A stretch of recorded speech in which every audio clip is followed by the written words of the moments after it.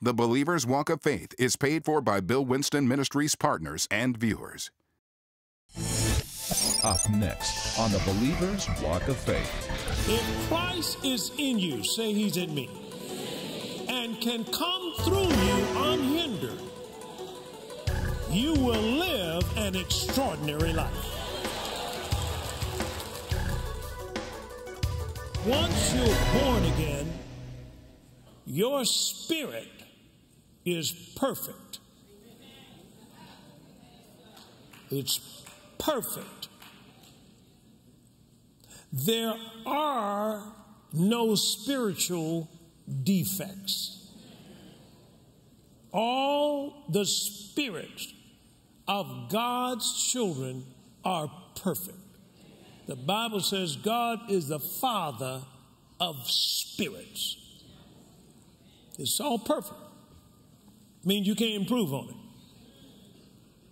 That your spirit is as righteous as Jesus. You can't improve on it. And Satan can't get to it because it's sealed by the Holy Ghost. So now, where's all the problem? And that's what we said the last time. We said the problem is the soul. It's the soul. If you're having any problems, that's because it's a problem with your soul. Now, what is the soul? Mind, will, emotions, intellect, imagination. Bible says over in Second Corinthians, I think it is, chapter 10, in verse 3, he talks here about Satan coming in at the soul level. Though we walk in the flesh, we do not war after the flesh. Satan uses spiritual forces to win. For the weapons of our warfare are not carnal, but mighty through who? God to the pulling down of what? Strongholds. What are those strongholds? Monuments that Satan has built in your mind. Stronghold, casting down what? Imagination. See, all this has got to do with your soul, nothing to do with your spirit. Your spirit is perfect and cries out to God, Abba Father. So, what I'm saying here is that we've now got to do something with our soul. He talks about over in Acts chapter 20 and verse 32. And now, brethren, I commend you to God and to the word of his grace, which is able to build you up and to give you an inheritance among all them that are what? Sanctified. Sanctified. See, the inheritance comes through sanctification. Sanctified, sanctified, set apart to God. And when you and I get born again, look what he says over in Romans chapter 12 and verses 1 and 2. Now he's talking about Paul, this is Paul's revelation. I beseech you, therefore, my brethren, by the mercies of God, that you present your bodies a living sacrifice, wholly acceptable unto God, which is your reasonable service. The body is neutral. And be not conformed to this world, but be ye transformed by the what? Renewing of your mind, that you may prove what is that good and acceptable and the perfect will of God. Your spirit knows the perfect will of God, but it can't get through your to your body to your soul get sanctified. So, sanctification is a process that you're going to find you end up repenting again, but not to be saved, but to get out of where you're at. You're going to discover, hey, I'm thinking wrong, or so forth. Why? That's that sanctification process taking place. So I can't walk at a certain level day one. Peter said, Oh, Lord, they may leave you, but I'm with you all the way, me and you, all the way to the throne. Well, they came and put a little pressure on Peter, and you saw what was in his soul. There was a monument in there. And anybody that says it's not, then you are being deceived. There's something you always dealing with, trying to get it out. I'm not saying the same thing. I'm saying you overcome the same thing, but you, there's something else you discover. Wow, I don't have this right. Wow, I don't have so forth and so on. Say amen to that. And so God has to apply His grace, His mercy. Say amen to that. So basically, your spirit is as pure and perfect and excellent as God. Your spirit, now don't, don't, don't, don't, watch out now, don't, don't, don't, don't, don't let your religious mind jump up and try to block me. Your spirit is as strong as God. Your spirit is as rich as God. Your, see, you uh, turn to it, John chapter 10 and verse 30. I and my Father are one. Now, watch what religious people are going to do. Watch, watch what religious folk going to do with this. Then the Jews took up stones again to what? Stone him. That's what religion will do when you say that you and God are one. If Christ is in you, say he's in me, and can come through you unhindered, you will live an extraordinary life. Think about it. Christ is the Holy Ghost. That's God. God, the Holy Ghost, if He's in you, and He said He is, well, how do you know, Pastor? Because He said He is. It's in the book. And if he's in you and he's got to come through you, he's coming through you and going to cause you if you let him come through your soul. See, the fence is in our soul. And if you let him come through your soul, then he will cause you to live an extraordinary life. Turn to Matthew chapter 14. Man, that time came and said, Hey, said, um, I went to get the gas and I pumped my gas. This is years ago. Went inside the pay. The guy said, What pump do you have, sir? I said, Pump number nine. He said, That'll be $36. The gentleman beside me was standing up. Now, this wasn't his money, his gas station, his car, his gas. It was nothing. He said, $36. I looked at it. He said, $36. I said, Hold, hold on, bro. I said, uh, I, I, got, I got this. I got it. At 36, this just bothered him. What happened? He saw himself in that place. Watch this. And in his imagination, it pulled him across his fence. All of us have fences. Now, how did you get in there? Through sin, things that happen to you. Oh, you know, them men ain't no good anyway. Things that happen to you. It built a monument and that monument is designed to keep you in out of your redemptive rights. You got fences. Maybe some have fences about their color. See, some of them have fences about their age. Some of them have fences about their, their uh, men or women, or some have fences about this or that. It's what was done to you, or what you've done, or whatever have you. What did it do? It wounded your soul. And that soul is a path, that wound is a pathway that the devil goes in and out. In and out. That's why you can't trust folk without it.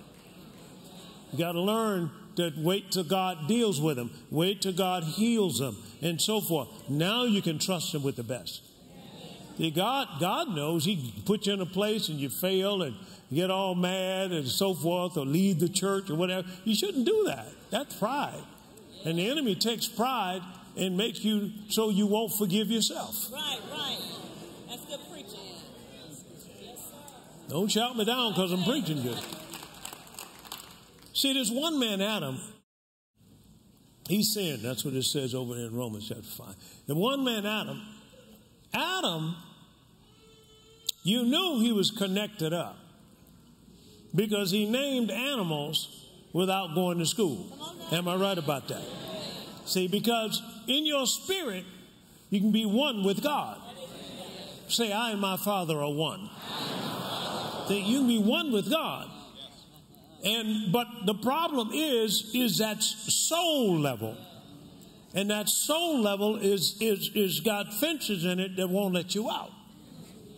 And so we got to take the word. Jesus came to heal the broken what? Hearted. He came to heal this thing, and, and, and, and, and we have to renew our minds. And that's what it says. Did I read uh, sec, uh, Romans chapter 12, verse 2? Did I read that one yet? Okay. Uh, be not conformed to this world, but be ye transformed by the renewing of thy mind. What is it in the, in the uh, Amplified Translation? fashioned after this were adapted to its external and superficial conditions.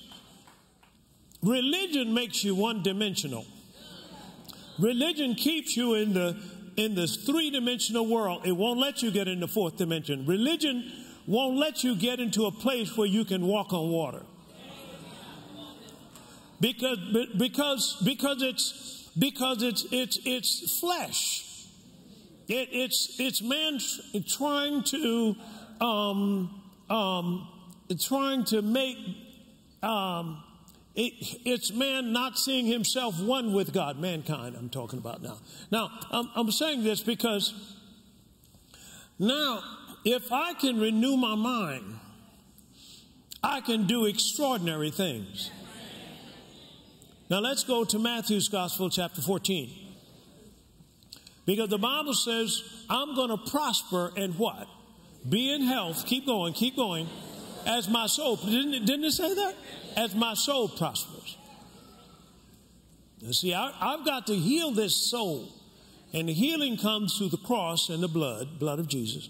And it comes also through the anointing. All right? And that's part of what that anointing is for, to restore you. All right? Look what it says here in uh, Matthew 14 26. And when the disciples saw him walking on the water, on the sea, this is Jesus now, they were troubled, saying, It is a who? Spirit. And they cried out for what? Fear. Now, know what, see what fear does now. Fear keeps you in this one dimension. It keeps you, it locks you in, it won't let you escape it. Because to escape this dimension, you must escape time. And, and fear won't let you escape time fake time. When, when I was um, uh, putting up the Joseph Business School, I told uh, Dolores and Ray, who helped me start it, I said, hey, um, help me start this school. I said, you come from University of Chicago, you come from Harvard, you all got some of the finest MBAs and kinds of so forth. Not that others are not.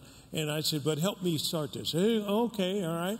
I said, now go and do some study and come back and tell me how long it'll take to start it. I gave them the criterion and so forth. So they go and check it out, and they come back and say it'll take one to two years. I said, let me pray about it. So I prayed about it. Now I'm getting in another frequency. I said, I'm getting into another frequency. And you have the mind of who? Christ. I'm getting into Christ's frequency. And all of a sudden, he told me it'd take two months. Whoa. I go back to them. I said, hey, it's going to take two months to get it up. Oh, two months. Now they obeyed. They, they, they took it because I'm, I'm the pastor and, and they took it. But my point to you is, is how much are we doing that we're doing without God? Watch this. And the enemy ends up delaying us, delaying us, delaying us. Come on, delaying us. Why? Because he's in that realm. And fear is what he's built his dominion on, along with money. But fear is that. So if I can get out of fear and get back over into faith, the first thing I discover about faith is faith is always now. Now. It has no time. So when I walk in the, the, the, the consciousness of that I am a spirit,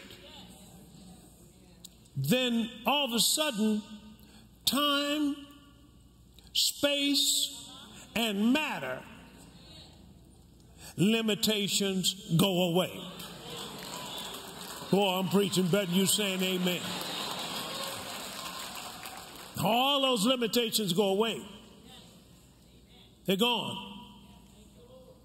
I remember a lady, I was in Virginia preaching, and I, after I finished preaching, God said, now, uh, uh, you know, call for souls. I called for souls. People came, and this one lady had an arm in a cast. I said, uh, after I finished uh, sinner's prayer, I said, now you born again. I said, now what's wrong with your, your, uh, your uh, arm? She said, well, I broke it, broke my wrist, so forth. I said, well, you know, you've been redeemed from the curse. Oh, yeah, and so forth. I said, do you mind if I pray for your, uh, for your for your arm, uh, uh, wrist? She said, No, I don't. So I put it on the cast and just prayed. Simple prayer now. Prayed. All right? Then I took it off. I said, Okay, now move your fingers. And she started moving her fingers. She couldn't do that first. Then she started crying. All right. Now, I said, How long did the doctor tell you that you have to have that on before it could be healed? She said six weeks, eight weeks, whatever it was. I said, well, God took eight seconds. He took eight. You, you see, see, once you start operating in your spirit, you start walking on water. You can just step right out on it because that's where Adam was in the beginning, but he wasn't there. He be, when he when he sinned, he lost his mind. Most scientific study says man is only now using about 10% of his mental ability. Well, what happened to the rest?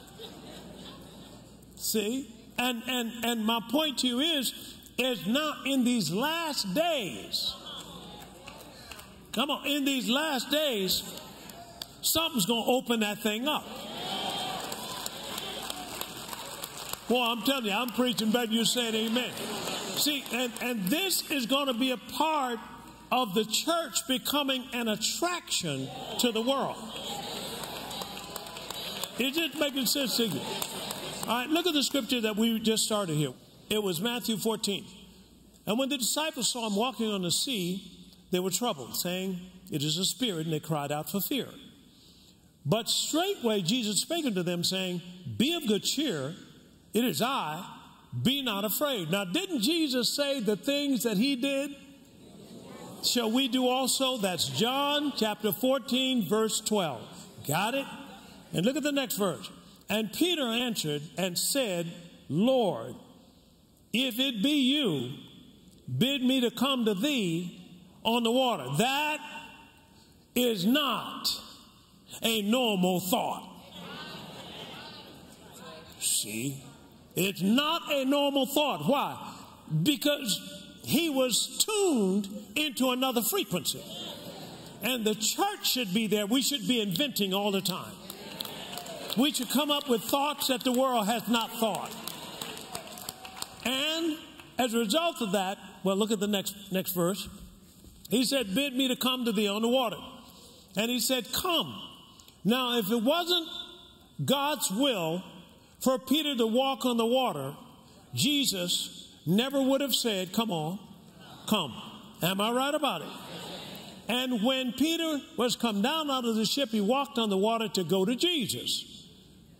But when he saw the wind boisterous, he was afraid and beginning to sink, he cried, saying, Lord, what? Save me. Now God saved, the Lord saved him. But here's the deal. Did he walk? See, people be talking about, ah, you know, Peter sank but he did walk. You haven't walked. I'm saying if you know Christ in you, you will live an extraordinary life because you'll be on the level of God. There's nothing that can stop you. The only reason why Satan could shoot a fiery dart in our minds and to keep us from our inheritance, keep us from, from what we desire, and keep us from whatever healing, so forth, is because of our mind. The Bible says in 3 John 2, Beloved, I wish above all things that you prosper and be in health. Come on. Even as your what? Soul prospers. So when you're out to take the promised land, the promised land first has to be taken on the land of your soul. You have got to take it inside before you take it outside. And a lot of God's people don't work on the inside. They just think they want a car, they want to get out of debt and so forth. Well, work on the inside. Get you the word of God that promises you you'll be the lender and not the borrower that says, come and then once you do that, get that thing taken on the inside and then step out on the water. Now, wasn't that an encouraging message? Now, here's a point you want to remember that people mention sanctified and sanctification. Well, sanctification is both an event and a process. In other words, once you get born again, immediately your spirit is sanctified. It's set apart for God. But the mind takes work. It takes renewing on a daily uh, event. You grow from a baby until one that now is an adult or full age and on strong meat and so forth like that. But that's that sanctification process. Yet born again, but still making some same mistakes. And then all of a sudden, get more word in you, and then you get more separated from the world. That's that process that you need. That's that whole act of being born again. Well, mentioning that, I have here some books in my hand. They're called Born Again and Spirit Filled. Now, I really wrote these books. We have it now in Spanish, and we have it also uh, in Polish, and have it in English as well. But these books I wrote because a lot of people are getting born again on this broadcast. And as a result of that, they want to know what the next step is. Well, let me ask you have you been born again? Now, when I say that, I mean your spirit actually born again. Jesus said, No one can come to the Father except by me. Once we accept Jesus as our Lord and Savior, a miracle happens. Something happens inside of us, and our spirits are reborn. Now, these spirits know God as our Father. The Bible uh, even talks about um, that we were away from God, that we didn't know God, that we were even enemies of God. But now, once you get born again, you and God become one again. And a lot of the things that have been harassing you or things that have been holding you back just fall off your life because of the born again experience. Now, here's what I want to do I want to let you know that Jesus died for your sins. I don't care what you've done in your past, He died for that. He took whatever penalty was deserved for that sin, He took it upon Himself. He became sin for us. And now the Bible says the wages of sin is death. So Jesus took that. But the gift of God is eternal life. So we can have the eternal life that God has for us. Why? He wants us all back. He's the Father. He wants his children back. So we go out and preach the gospel, good news to every creature, so that people can say yes to Jesus. Well, I want to ask you have you ever said yes to Jesus publicly?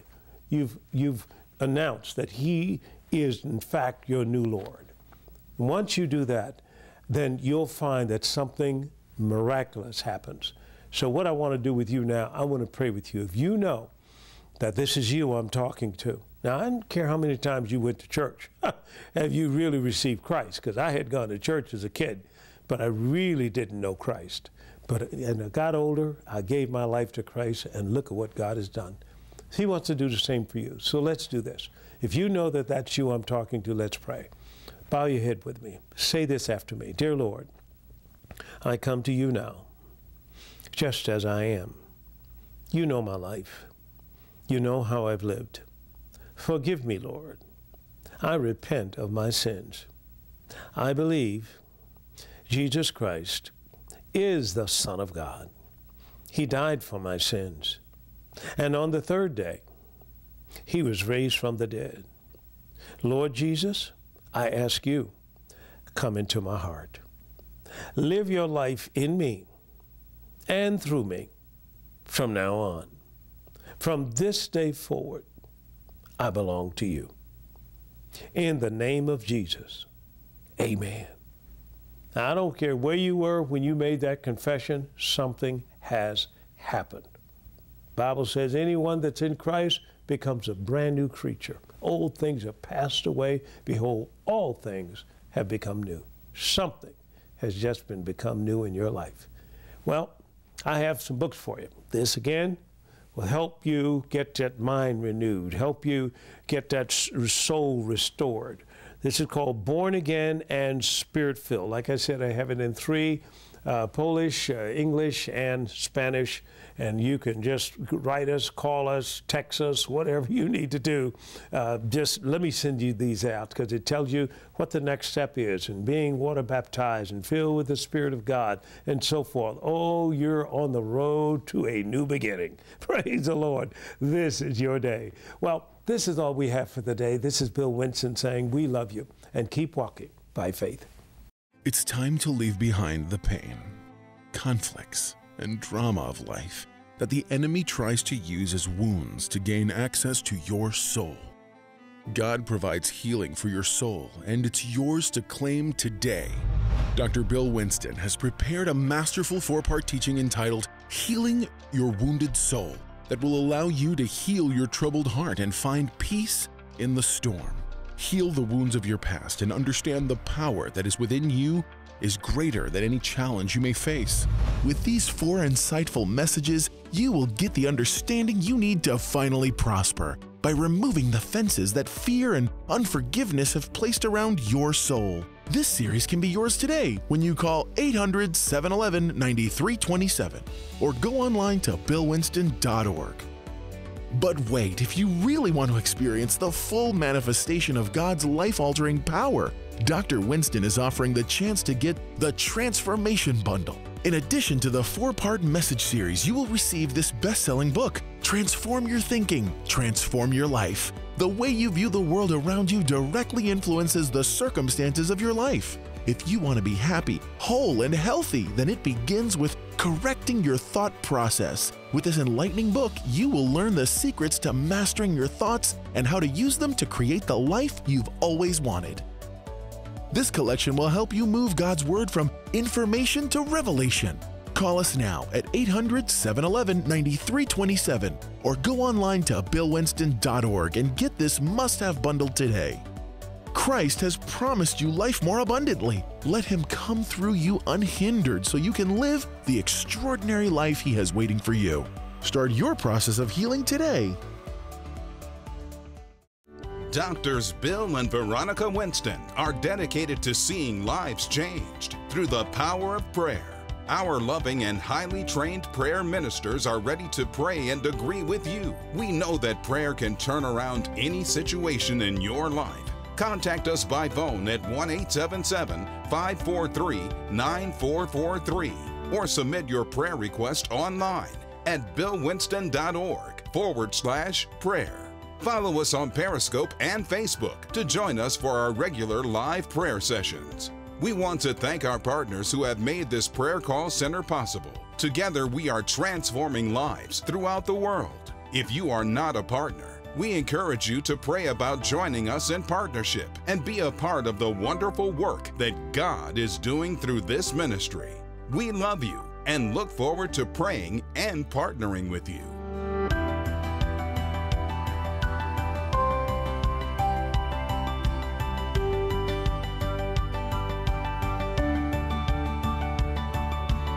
The Believer's Walk of Faith is paid for by Bill Winston Ministries partners and viewers.